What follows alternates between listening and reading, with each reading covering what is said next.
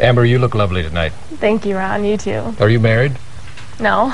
Well, I am, so don't get any ideas. It's not too often you can call a sheriff's deputy a dummy and get away with it, even though I have. But in rural Slope County, North Dakota, there's an exception. An old Crown Victoria sits and waits to surprise speeders who may travel through the county seat of Amidon too fast. Here's more on the deputy who's been causing double takes for more than 20 years. The speed limit in Amidon is 25 miles an hour. Oh, that's where the car is at. Yeah, that's where it's at. Whatever. Although the actual sheriff says the town of Amidon is more known for its fairgrounds and church, many residents say the squad car usually sticks out as the most memorable. What do you- yes. What do you think? Uh, well, I have no idea. Coming up next in Yes. sports, it's a rivalry weekend. John Schaefer has Bobcat highlights as they take on the hated Bruins. Mm. Sports is next. KX News Weekend, winner of the Regional Emmy Award as Best Weekend Newscast. So there is uh, North Dakota winter for you. It's coming this way.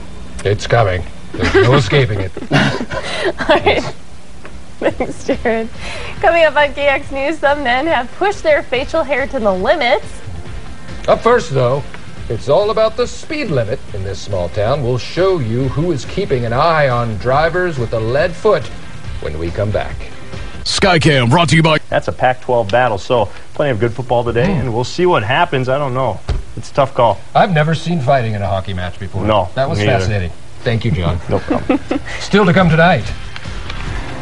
One local man wins a bet by more than just a hair. Why he and his wife are relieved. November is over. Plus, Jared takes a last look at the forecast.